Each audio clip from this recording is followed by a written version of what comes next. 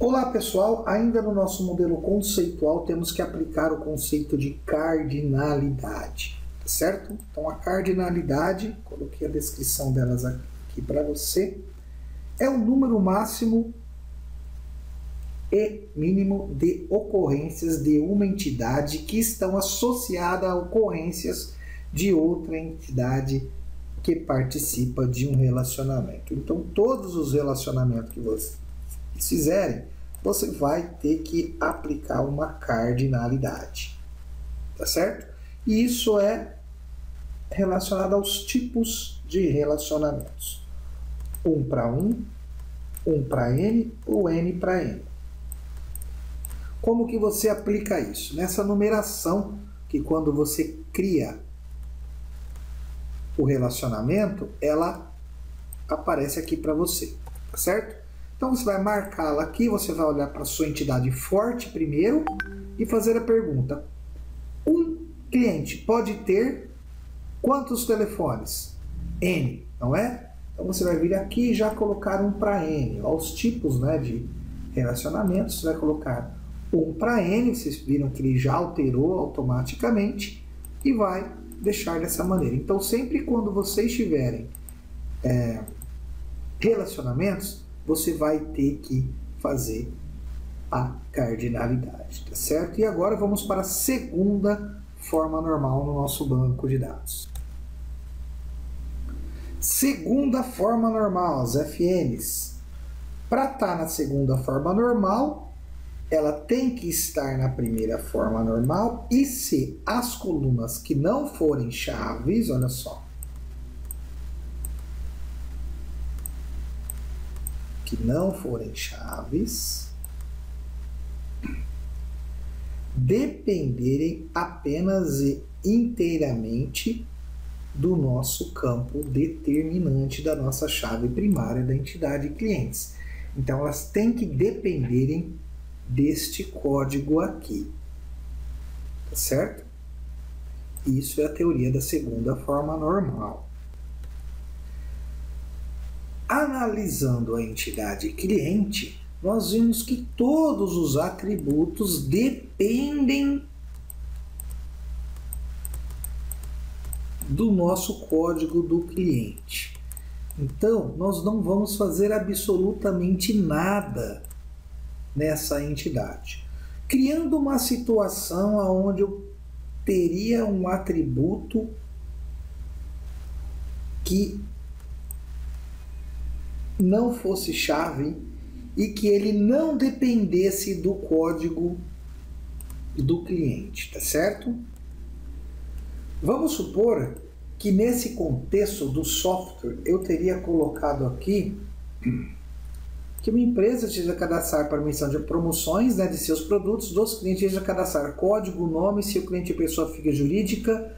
Aqui perto de telefone eu poderia colocar produtos que ele adquiriu. Certo? Olha só. Teria acrescentado produtos aqui. Vou dar um OK.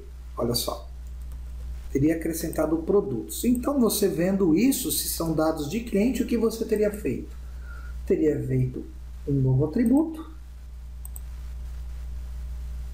aqui escrito produtos, certo? Você teria feito desta maneira a entidade. Aplicando a segunda forma normal aqui, eu olho esse atributo produto ele depende do código do cliente, esse produto não depende do código do cliente, ele pode ser um outro cadastro, certo? Então a segunda forma normal ela fala isso, ela olha a sua entidade, respeita essa regra e o que ela manda fazer? O mesmo processo da primeira forma normal, olha só. Nós iríamos ter que apagar esse registro, tá certo? Vir aqui colocar uma nova entidade colocar uma nova entidade, chamar ela de produtos. Vou diminuir ela aqui para ela ficar um pouco menor. Fazer um relacionamento entre clientes e produtos. Tá certo? Ó, ela teria que ficar dessa maneira. Ó.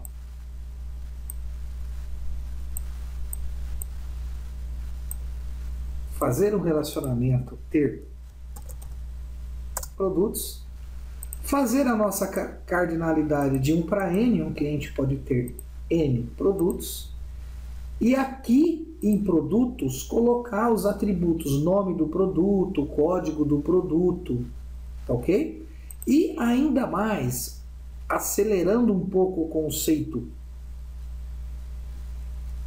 de entidade associativa, esse ter aqui iria virar uma entidade associativa. Não vou entrar em detalhes, né? Porque esse ter aqui viraria tela de vendas, um relacionamento de vendas, tá certo? É, viraria uma entidade associativa, que eu não vou entrar em tanto detalhe, talvez eu pretenda mostrar alguma coisa no final, né? Então, ficaria assim. Você viria aqui, você iria fazer essa entidade virar uma associativa, ela ficaria dessa maneira aqui, a, a relação, era só você apagar aqui e substituir por ela. E aqui ela teria uns atributos como data, hora, preço, é, total e vários outros campos, mas eu não pretendo entrar em associativa nesse treinamento, tá certo? Então a segunda forma normal, literalmente você cata os dados, é referente a cliente, então fica. O produto não era referente ao cliente. Cria-se uma entidade, o correto aqui era colocar umas entidades, código e nome, tá certo? Mas como não tem essa segunda forma normal no nosso exemplo, eu não vou aplicar e vou eliminar ela daqui, tá certo? Então a segunda forma normal é fazer isso caso vocês encontrem um atributo como esse. Tá certo, pessoal? Então, abraços e até o próximo vídeo.